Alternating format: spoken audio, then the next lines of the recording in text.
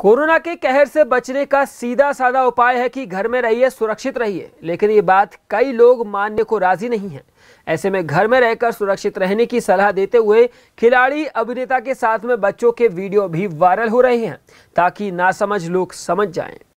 Curfew के चलते चारों ओर सन्नाटा है, लेकिन फिर भी कुछ लोग ये व्यवस्था को बिगाड़ते हैं। ऐसे लोगों को समझाइश देने के लिए खिलाड़ी भी आगे आए हैं।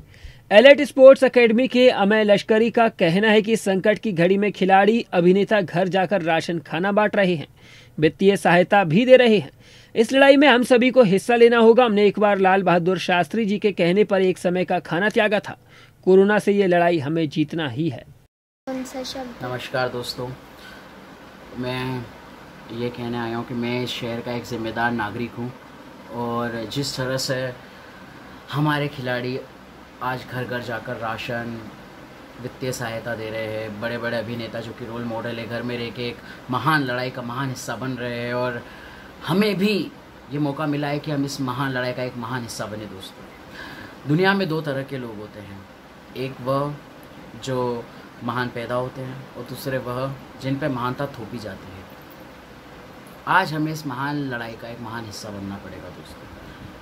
हिंदुस्तानियों की खूबी ये रही है शुरू से कि जब भी उनके लीडर ने उनसे कोई भी कुर्बानी मांगी हिंदुस्तानियों ने उसका पूरा समर्थन करा है।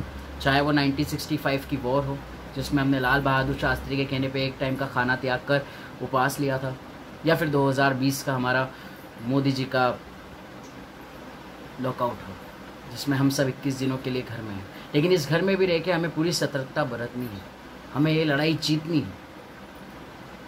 दोस्तों, चाइना का सामान खरीदते वक्त मैंने भी कभी ये नहीं सोचा था कि एक दिन हमारी मौत भी चाइना से ही आएगी, जिस पर मेड इन चाइना लिखा होगा। आज हमें इस पूरे कोरोना वायरस की लड़ाई को हराना है, दोस्तों।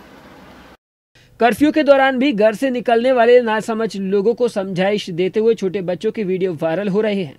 छह साल के छोटे बच्चे माहिर तोमर को वायरल वीडियो में वो बड़ों से कह रहा है कि घर में रहिए, सुरक्षित रहिए।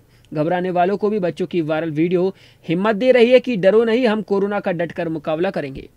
नमस्ते, मेरा नाम है माही तोमर। मैं आपसे कुछ बात करना चाहता हूँ। जैसा कि मोदी जी ने कहा है, घर से बाहर ना निकले और हर एक घंटे में हाथ धोए, डरे नहीं और लड़े। नमस्ते। Bureau report, Dabang news.